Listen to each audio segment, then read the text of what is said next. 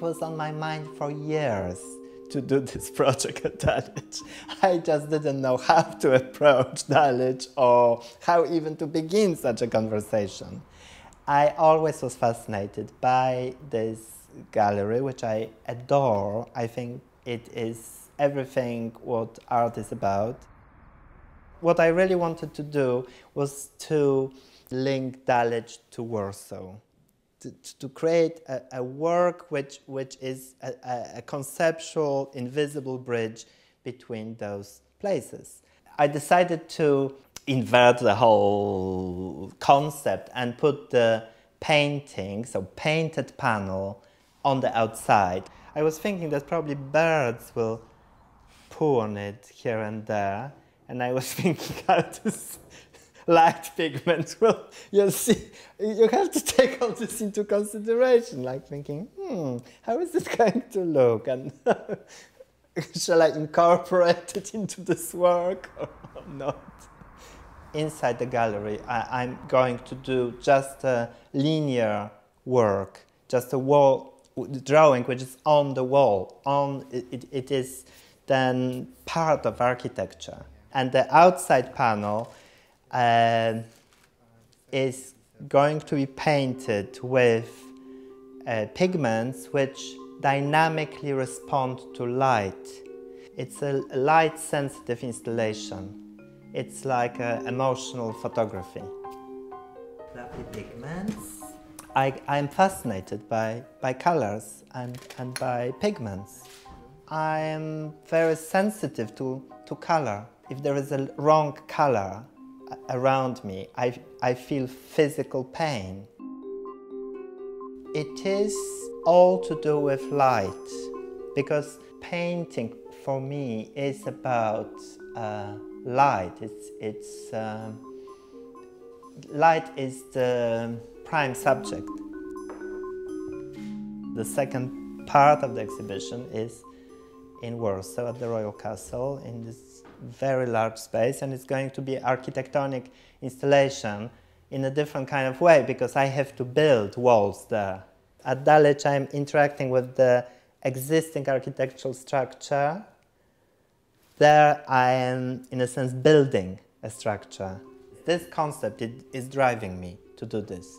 Otherwise I, I don't think I would because physically this is such a huge effort. I mean, painting this is, is already uh, extremely um, difficult, but it's nothing uh, by comparison to doing this, this huge thing in Warsaw, or even the wall drawing at Dulwich is, is something so terrifying. It's terrifying. It's like, you know, it's, it's like uh, somebody would say to, to a singer, well, here you are, this is the Covent Garden, this is your stage, and uh, please bel canto now.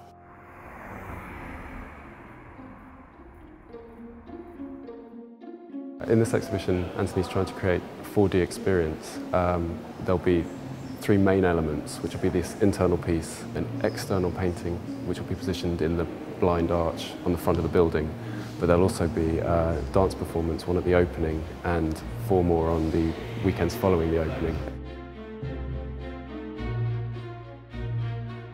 In order to do this kind of work uh, in, say, a couple of weeks, I have to use some sort of lines, some sort of lines which I can pin very quickly uh, to the wall. I found material some time ago, um, a kind of, well, it's a card which is uh, soaked with uh, bitumen. I can cut it and I can also tear it.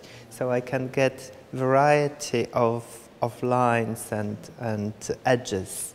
And then I choose the appropriate bits of my material, if you like, uh, and, and pin it with Blu Tack. Once I'm satisfied with, with all the movements and the positioning, then I will remove the Blu Tack and glue those pieces flat on, on the wall. From a distance, it may look as if it is sort of gouged out even because of the, of the rough edges, and yet when you come close, it's the reverse. It's a sort of choreography, basically. That's what it is. So it's like catching the right movements. It is a, a, a similar process um, which my friend choreographer Yongmin Cho is going to, to use in creating a dance performance. Cut, cut, cut, cut, cut, cut, cut, cut, cut, cut, cut, cut, cut. And out the space. It's been really interesting actually. Uh, it's quite interesting with the language barrier also because Min's obviously speaking in English but his first language is Korean and everybody's interpreting his tasks in a slightly different way. Look at your eyes every time your fingers will go. They have a different nationality and a different background, different uh, experience about dance.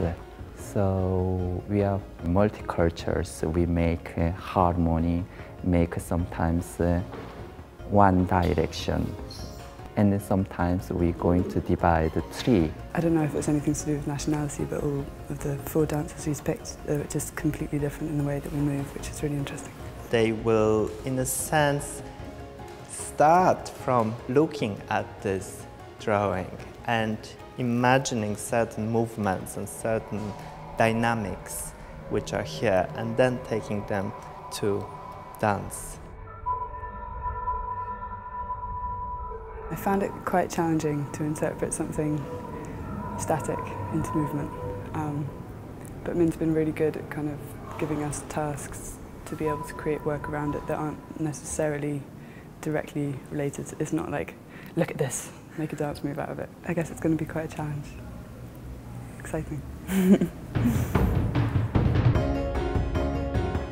Working at Dulwich Picture Gallery uh, in proximity of all those historical paintings, uh, there is that weight of history. Anthony has expressed, you know, when he was in the gallery on his own, that you know he feels like the portraits are looking in, they're interested, and I think that kind of that dynamic, that tension works really well. I was on the scaffolding there on Monday, and I, I really felt that they are looking at me from their portraits, and and that they were smiling. So I I hope they like it. It's, it's going to bring a, a new audience as well to the gallery, people that enjoy Anthony's work, people that enjoy architectural works contemporary art. It's, it's something a bit different. It's what's nice about working at Dulwich.